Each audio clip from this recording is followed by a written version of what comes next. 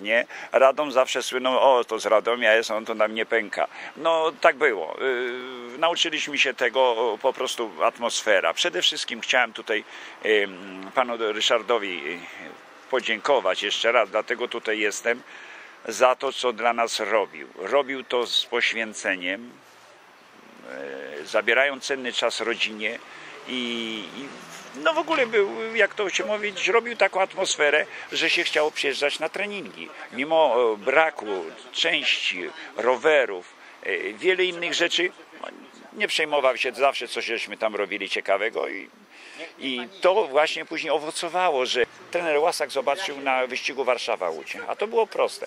W piątek żeśmy, pamiętam, to było w niedzielę, zawsze te wyścigi się odbywały i w piątek na torze przebiłem gumę przednią na wirażu. I obsunąłem się z tego wirażu i cały mój łokieć, bo na łokciu zjechałem, to proszę sobie na tym betonie i miałem taką opuchniętą rękę, bardzo mocno opuchniętą rękę, no i trener mi mówi, żebym nie jechał, bo jestem porozbijany, a ja na własną prośbę pojechałem. I na tym wyścigu, proszę sobie wyobrazić, gdzie wystartowało gdzieś ponad 280 zawodników z Polski, bo w tym czasie tylu seniorów było, i ja e, raczkowałem, nie wiem, jakby mnie pan dzisiaj zapytał, w jaki sposób ja się zabrałem w, w ucieczkę, to bym dzisiaj panu nie powiedział. Po prostu zabrałem się, byłem bardzo zmotywowany. Wtedy dostrzegł pana trener Łasa. Tak, dos, doszedłem. I byłem na mecie, proszę, e, po tych bruku, z Gierz, koło Łodzi, te bruki, to myślałem, że mi ręka odleci. Ja byłem w odjeździe, chyba 15-osobowym i uciekli wtedy, wtedy słynni zawodnicy, Zie- Zieliński i Kudra. Ja mówię, patrzę na tych ludzi, tych pozostałych starszych moich kolegów, że coś oni się tutaj nie za bardzo grzebią. Ja im odjechałem. A jeszcze odjechał pan Ja im odjechałem, do, do tych dwóch. Do tych dwóch do, sam jechałem. I na stadionie mnie doleciał, nie wiem, któryś z znanych zawodników, nie przypominam sobie, wiem, że też kadra. Ja bardzo byłem zły, bo nie byłem na podium, byłem nie trzeci, tylko czwarty. To był wielki sukces, gdzie zobaczył mnie słynny, jak mówiłem, e, pan e, e, Łasak. A jak długo trenujesz, a jak to? A ja mu powiedziałem wyraźnie.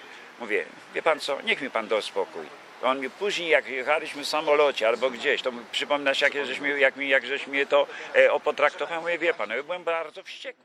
Oddzielny, duży pokój i tam było mnóstwo, mnóstwo kwiatów od Polonii. Ale jednej rzeczy, taka babcia, dosyć już y, z, y, w podeszłym wieku, z wnuczką taką małą zaręczkę przyszła i tak płakała mocno, że mówi, że ja po prostu pokonałem ich na swoim terenie, tych y, Rosjan, nie? To mnie tak zmotywowało, że na drugi dzień odjechałem wszystkim, pourywałem Aha, i po prostu sami Polacy pojechali w odjazd. No. aha, w tej ucieczce. Tej u niego pod górę i się mu pod kołem przerzucić, przewrócić. On się ze mną przewróci i my obydwaj wtedy, ja złapię oddech, wyrównam oddech, on się Coś i nie, normalnie byłem tak zmotywowany.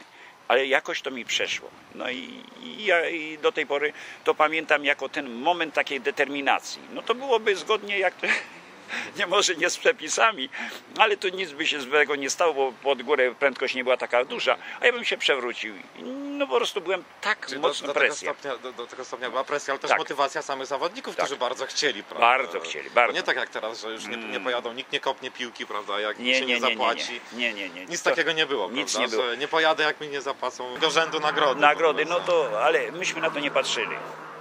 Tego się Byliśmy brało. sukcesu, nie patrzyliśmy na to, ponieważ, yy, jakby to powiedzieć, yy, były to, były to lata, gdzie bardzo się liczyły te wyniki, jakieś, jakaś, jakaś ambicja sportowca, ambicja czysta sportowca. ambicja sportowca. Oczywiście, oczywiście. Pojechał pan na olimpiadę do Meksyku, jak pan to... Tak, tak. Zdobyłem wcześniej mistrza Polski w Lublinie na 200 dokładnie chyba 12 kilometrów.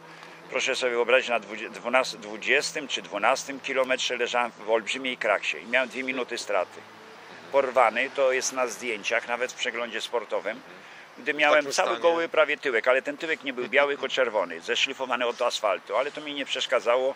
Ryśka Szurkowskiego zmobilizowałem, on w tym czasie już jeździł w Dolmelu, bo wyszedł z wojska, tutaj u nas jeździł e, przez dwa lata i no i po prostu w, Łodzi- w tym ucieczce, która była końcowa, ja byłem, Szurkowski był, był e, Marian Kegel, który rok wcześniej był e, czwarty na Mistrzostwach Świata e, amatorów, naprawdę bardzo szybki kolarz, no i taki Żaczek, także pokonałem ich, nie chcę tu nudzić, ale też zrobiłem taki manewr, bo e, ten e, Marian Kegel był wtedy najszybszy z nas, a ja go e, po prostu pewnym... Sprinter na finiszu. Na tak? finiszu, tak, tak. Ja go sprowokowałem, żeby wcześniej zaatakował. On się zdenerwował. Nie robiłem mu nic, ani nie popychałem, ani nic, ale po prostu swoim działaniem go tak e, podpuściłem, jak to się mówi, że on wcześniej zaatakował. A wiedziałem, że na dłuższy finish nie ma Nie szans. wytrzyma po prostu. No, ja robiłem swoją taktykę.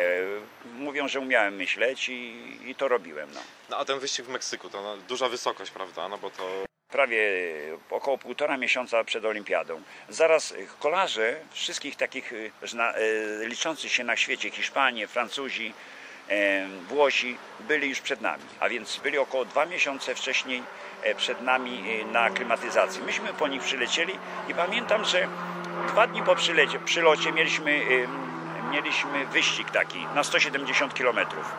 Ja byłem drugi za mistrzem olimpijskim. Byłem w niezłej formie. Byłem, jakby to powiedzieć, w gazie. Z tym, że zupełnie inne oddychanie chyba, prawda? tak, to, tak, było, tak. To, to było na pewno męczące dla, po tak krótkim okresie aklimatyzacji. e, e, wysoko wytrenowany człowiek e, lepiej się adaptuje do tych warunków. Aha. Ale mi- u mnie była tak, że gdy dwa błędy popełniłem, to znaczy nie tylko ja, ale i uważam, że trenerzy. Gdy ja byłem w wysokiej formie, powinny mieć troszeczkę inny cykl treningów.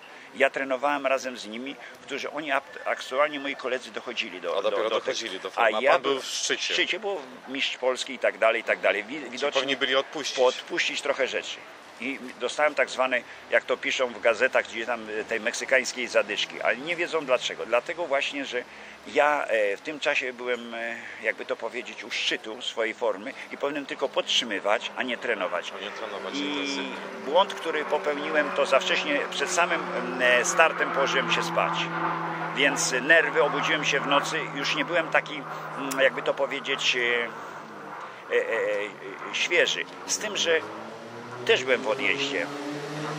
Ucieczkę, za, odjazd, ucieczkę się zabrałem i przebiłem e, przednią gumę.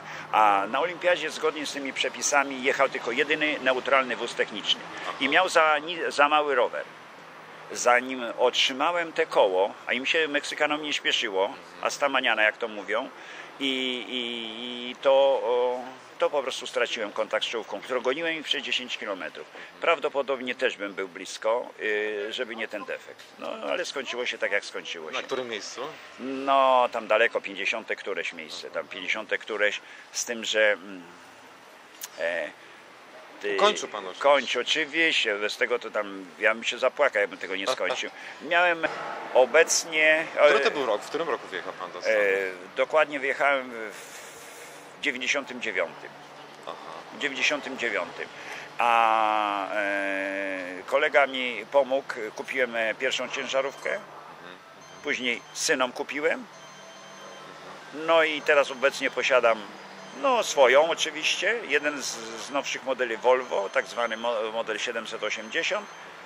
No, mieszkam w Pensylwanii, to takie coś jak polskie Zakopane, to jest półtorej godziny od y, Nowego Jorku, bardzo atrakcyjne miejscowości.